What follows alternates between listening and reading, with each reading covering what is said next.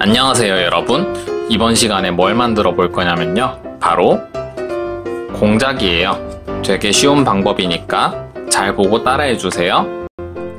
구독 버튼이랑 추천 버튼 꼭 눌러주세요. 먼저 색종이를 준비해 주시는데요. 한쪽에 무늬가 있는 색종이를 사용하면 공작의 깃털 모양을 잘 표현할 수 있어요. 먼저 이 깃털 모양이 앞으로 오도록 한 상태에서 삼각형으로 접었다가 펴주세요. 끝과 끝을 정확하게 맞춰서 이렇게 접은 다음에 다시 펼쳐주고요. 그럼 여기에 주름이 보이죠? 이렇게 이 주름을 따라서 이렇게 접어주는 거예요.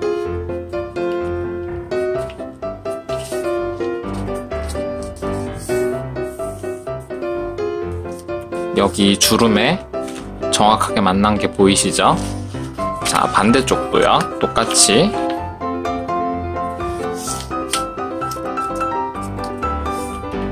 접어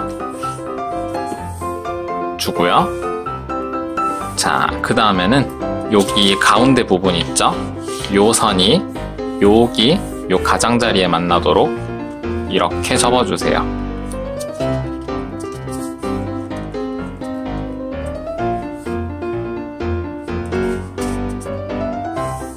자, 이렇게 접어주시고요.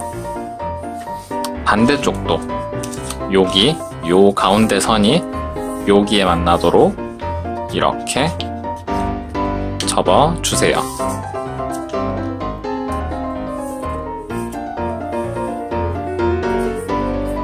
요 끝부분도 잘 맞춰서 접어주세요.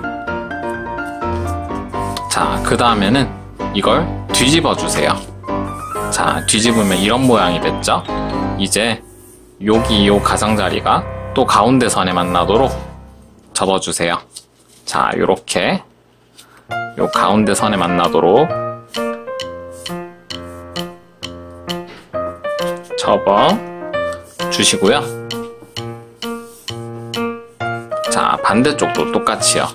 이 부분을 가운데에 맞춰서 접어 주시는 거예요. 이렇게 가운데에 맞춰서 접어 주세요. 그러면 이런 모양이 됐어요. 이 전체를 반으로 접어줄게요. 이렇게 반으로 접어서 옆에서 봤을 때 이런 모양이 되게끔 만들어주세요. 자, 그 다음에는 이 전체를 또 반으로 이만큼 접어서 여기 접은 자국을 만들어주세요. 여기 가운데 접었던 자국이 생기게끔 만들어주고요. 자, 그럼 이 접은 자국이 있죠? 잘 안 보이니까 펜으로 칠해줄게요. 여기에 접었던 자국이 있어요. 자, 이 자국을 따라서 이 부분을 이만큼 안으로 접어주세요. 이만큼 안으로 접어주세요.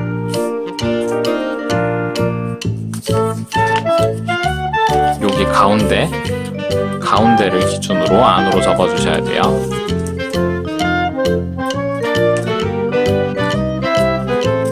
이렇게 속에 이렇게 올라온 게 보이시죠? 이렇게 접었어요. 자, 반대쪽에서 볼게요. 그 다음에 이 부분을 벌려주세요. 요 속을 이렇게 볼 수 있도록 이쪽 한 겹을 이렇게 벌려주는 거예요. 그러면 여기 틈이 보이시나요? 여기 이렇게 빈틈이 있죠? 이 틈을 이렇게 벌려주세요. 자, 반대쪽에도 틈이 있어요. 이 틈을 이렇게 벌려주세요. 이 속을. 자, 벌렸어요. 이 속을 벌려서 그대로 벌린 걸 반대쪽으로 눌러주는 거예요. 이렇게. 자, 어렵죠? 조금. 이 부분을 아까는 이런 모양이었는데 이 속을 동시에 벌리면서 이렇게 아래로 내려간 거예요. 자, 이런 모양이 됐고요. 이제 이 부분 있죠? 이 부분을 다시 위로 접어주세요.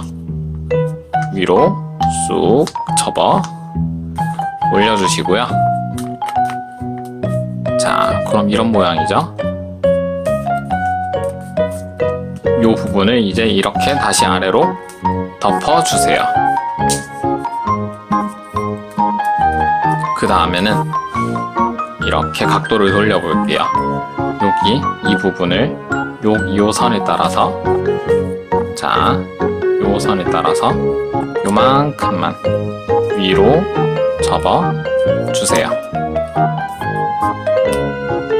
자, 그 다음에 뒤집어서 반대쪽도 요만큼을 위로 접어 주세요.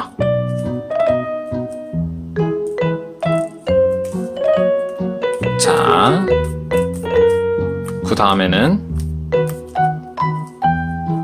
이 부분, 요 아래쪽을 위로 뒤집어 줄게요. 이만큼을 여기 잡고 위로 이렇게 꺾어 올리는 거예요. 꺾어 올리면서 위로 뒤집어서 이렇게 접어주세요.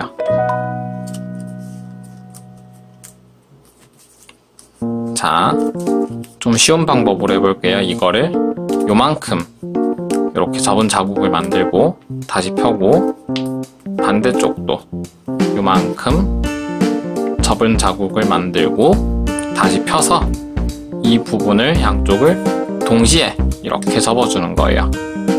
이렇게 해서 접어 올려주면은 여기가 공작의 머리 부분이고요. 자, 이 윗부분을 이렇게 아래로 내려 접어주세요. 이렇게 내려 접어주시고 자, 그 다음에 이 안쪽을 계단 접기를 해주는 거예요.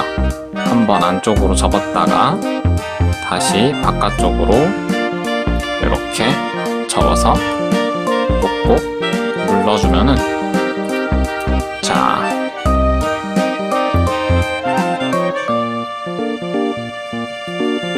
어때요? 공작의 부리 모양이 됐나요? 공작의 머리같이 생겼지요? 이제 공작의 주요 포인트인 이 꽁지깃을 펼쳐줄 거예요. 자, 여기를 이렇게 아래로 내리면서 펼쳐서 눌러 접어주세요. 이렇게 이렇게 되어 있던 부분을 쑥요 선을 따라서 접어 내리면서 누르는 거예요. 자, 반대쪽도 해볼까요? 요 부분에 손가락을 집어넣어서 한 겹만 이렇게 내리면서 꼭꼭 눌러주세요.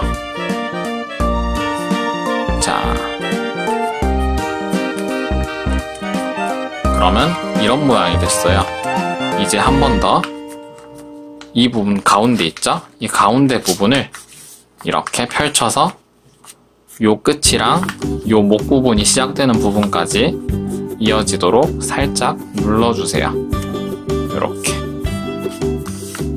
이렇게 눌러주시고요. 그럼 이런 모양이 됐죠? 자 반대쪽도 해볼게요. 반대쪽 부분도 이 부분을 이렇게 펼치면서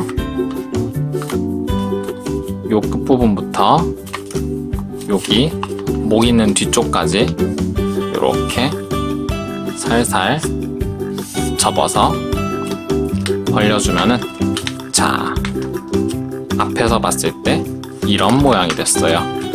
그러면 공작이 완성된 거예요. 자 화려한 깃털을 가진 공작이에요.